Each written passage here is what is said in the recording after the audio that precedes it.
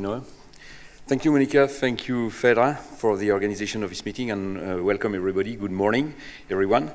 Uh, it's a real pleasure to be here. It sounds like an anniversary for me. Ten years ago, I was working in this exact same building, and you see, uh, uh now I'm elsewhere. And I think that this is uh, really the, the, the, topic of the day, uh, careers. What does that mean? Should carrier be a, a, a straight road? and in fact, I'm not so sure. I will, I will tell you more in a minute uh, about that. So I have two disclaimers. First of all, I'm not here, it's very clear, to give a lesson. Very, very, there is no lessons to be, to be given here. Uh, I'm not claiming that what I did uh, and still doing is right or, or, or wrong. Uh, this is just to share with you uh, some part of my, uh, my career uh, with failures and, and, and few successes, from my point of view, but you will judge. Um, and, um, and of course, this is a personal presentation. Uh, and it's quite interesting because it's the first time I do that. Uh, in, in, in, the life of a scientist, most, most of the time we are used to speak about the science that we do or the, the topics, scientific topics, but not so much about personal uh, point of view. So, uh, and you will see that my presentation is quite personal. And the statement I make here uh, might not be reflecting the ones of my current organization, of the organization that I was working for in the past.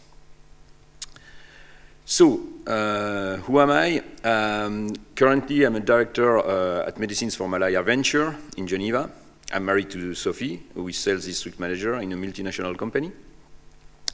And I'm a very proud dad of two daughters. Uh, I know I'm biased, but it's so good. Uh, Coralie, uh, will turn 19 at the end of the year, and she's uh, studying in Lausanne and Marine, who is 12 years and a half, uh, and she's competing in gymnastics, uh, currently preparing for being selected uh, for national level. Um, my patience in life, I think that after my family, I think it's important to have patience. This is really a, a driver to me. This is what, what, what, what is very important on, the, on a daily basis. This is what gives you energy. And so at least for me, this is the way I'm, wor I'm working. Um, so my job, of course, is a patient, uh, travels, meeting people, generally speaking, uh, embracing different cultures. I love to discuss with, with people and, and to be the, the little trade union, you know, the little link between some people, between talents. You have all talents, and, and, and what I really like, and more and more, I really enjoy that, when you see that you can put people together and they discuss and they create something. And you are, in a very humble manner, you are just here to put them together. And this is really, uh, really fantastic. Uh, I like also um, high-speed sport cars and, and, and car races. Uh, this is my little crazy side. Um, when I was younger, uh, I mean less old, uh, I was playing guitar and, and, volleyball. And this gave me also the, the notion of uh, reaching goals. So I think that doing sport is quite important as well. On the right-hand side of the slide, you see my, my little daughter doing gymnastics on, on, on the Great Wall in China. This is what we did this, uh, this, uh, this summer.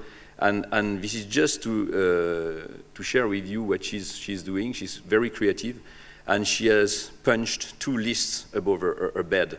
One list is uh, made of what she's calling the feasible dreams, and the other, the other list is the unfeasible dreams, like were walking on Mars or and the feasible dreams, one of them was uh, doing gymnastics on the, on, the, on the Great Wall. And I think that we all need that. We all need dreams that come true.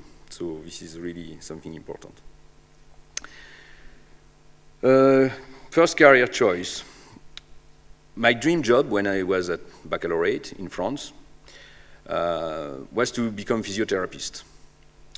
I was obsessed by that. I really wanted doing that this was my, my, my dream job at that time. At that time, I was playing volleyball in, uh, in a team which was competing at the national level, national free, which is uh, the lowest level. But nevertheless, we, we, I really uh, enjoyed being with people, trying to help people, motivate people, and, and, um, and this is really what I wanted to do. Uh, but I even not started that. Uh, and in reality, uh, then after, I was group leader in academic research, uh, then in industry, and now just in between. in a not-for-profit organization, a product development uh, uh, partnership, PDP organization. So why did I fail somehow being a physiotherapist? And, and, and today I should admit that I have no regrets. Um, I failed simply because at that time there was only one school in France which was very expensive and my parents said, guy, you need to do something else because uh, we won't be, it's not uh, uh, affordable for us. Uh, today I thank them because I, I'm, I really enjoy what I'm doing. So you know, life is made of opportunities. That's, that's very clear. Uh, my education is quite classic, so French baccalaureate, license, uh, bachelor now, I need to, to be up to date. Sorry for that, you see, you, you can guess my age. Uh, uh, DEA, so it's French uh, diploma, uh, five years of the baccalaureate, and Magister of Enzymology, master now, and PhD in molecular and structural biology in, in Grenoble, uh, working at the synchrotron in collaboration. Already at that time, I liked collaboration. Uh, Post-university, uh, postdoc at ISREC, this is where I met Monica, for instance, uh, uh, working on anti-tumor drugs and, and, and chromatin. Uh, scientist in a biotech at Serono. Then um, I was proposed a position of head of proteomics platform at university in, NCCR program, and it was a very exciting experience and quite surprising, I, would say. Um, then group leader in industry, Serono, and then Merck Serono here. And now uh, drug discovery at, uh, at MMV. Uh, nine years now that I'm doing that. So I have a passion for working with others, you understood that, and, and, and creating partnerships. Uh, and this is exactly what I'm doing a, on a, almost on a daily basis in my job. Uh, and every day I'm amazed by the creativity of the, of the people when you put people discussing them to, together and, and, showing um, high motivation to work together. Then this is really where you can, you can create synergies, you can create things. Uh, already uh, during my uh, my PhD time, uh, I, I, set up, I was the first in the lab setting up a collaboration with the synchrotron. Uh, I was purifying a, a, protein. I think that the world knows that uh, perfectly. Uh, this excitement when you try to purify a protein, you know, and, and, and of course the next goal is to try to, to, to get crystals somehow and, and, and to have an X-ray and, and 3D structure det determination. Uh, this was really uh, beyond the, the, frontiers of my knowledge at that time, but, but I was appealed by knowing more and, and, and collaborating with people who could bring me some, some, some I mean, some knowledge. so eagerness to, to, to learn something new was, was always one, one of my uh, drive. Um, then after I, I, kept on going with collaborations during my postdoc with a modeler and mass spectrometry, mass spectrometry expert, and this is where I started to learn uh, mass spectrometry. Uh, then after at the University uh, of Geneva in collaboration with 13 partners, uh, and today we have uh, in the organization up to 400 partners in the world. This is representing between 2,000 and 4,000 people. Uh, of course, I'm not talking to all of them on a daily basis over the phone, but uh, there is a lot of lot of interactions, and it's fascinating. Different cultures um, from all over the all over the, the planet. I mean, basically South uh, South America, Asia, Afri Africa. This is uh, this is really really great. Uh, so my values uh, beyond collaborations and, and, and, and interactions between people are uh, ethics, respect, transparency, empowerment, fairness, recognition, loyalty, honesty, and listening.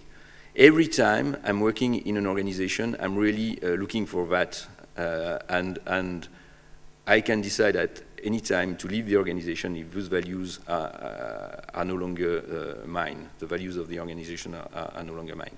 And I'm not telling that uh, this is right and the values of organizations are wrong. It's just that at one point, you, the way I drive my, my, my career is to constantly address this.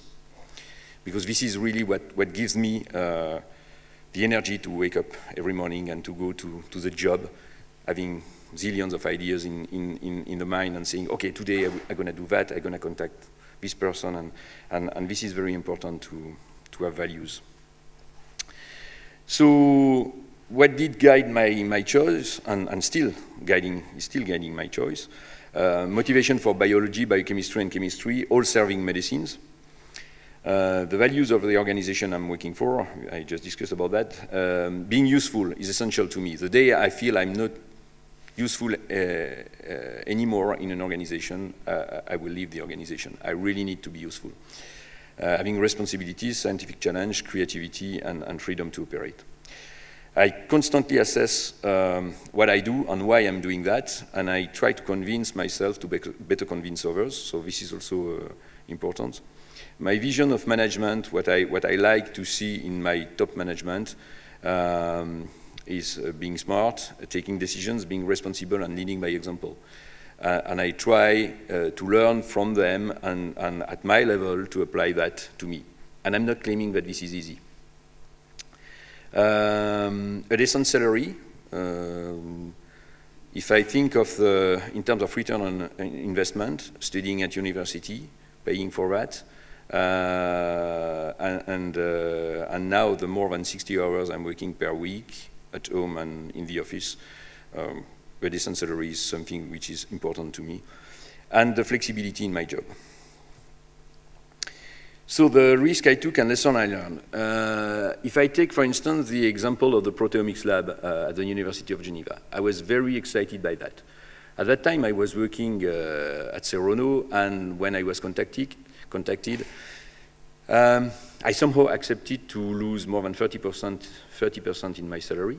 So clearly here, the salary was not the, the, the, main driver because of the exciting possibility of creating something. And this was truly exciting, I can tell you.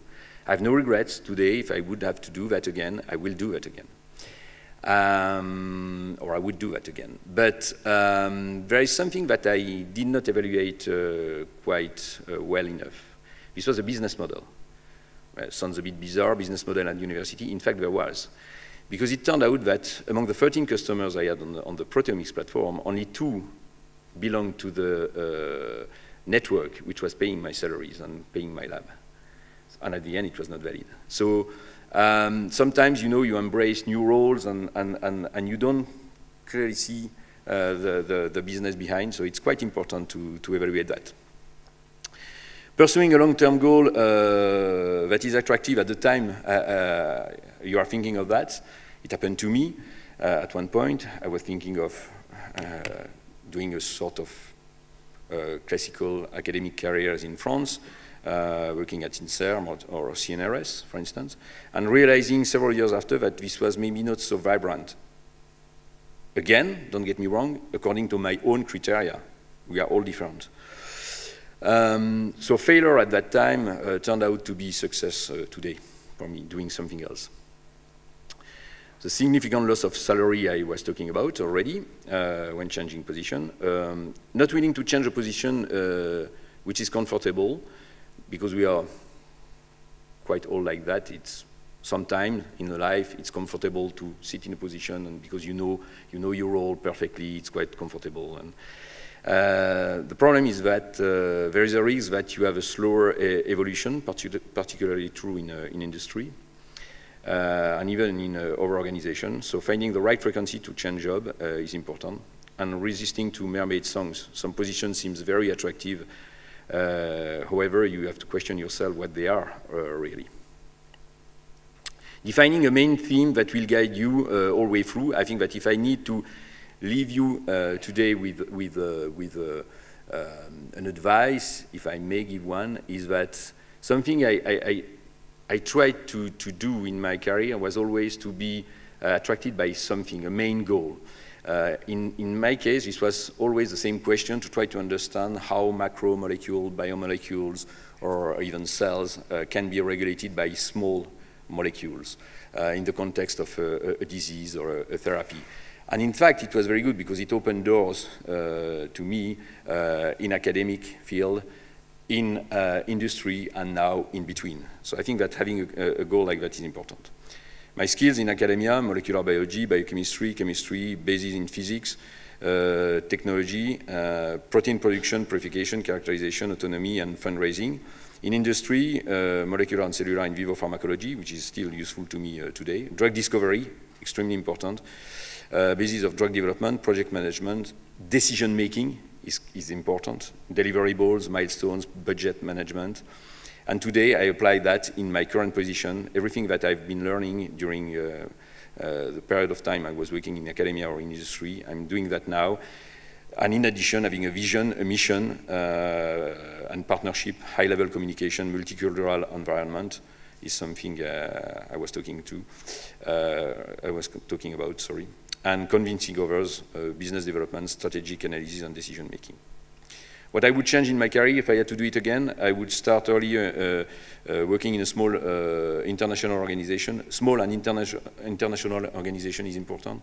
In the same day, you can sit the, next to the CMO and in the afternoon discussing with the CSO of another company favoring cross-functional jobs earlier on, realizing earlier that science does not make everything.